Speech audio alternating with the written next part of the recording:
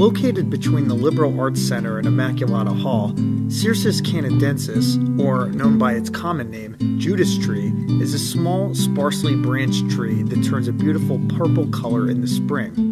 The eastern redbud uh, we're speaking of is situated um, between Immaculata Hall and Liberal Arts. It's a protected area, thus it's, it's doing well. The name may also derive from Judea's tree, after the region encompassing Israel and Palestine, where the tree is commonplace. Interestingly, the flowers are also used in salads and for making pickled relish.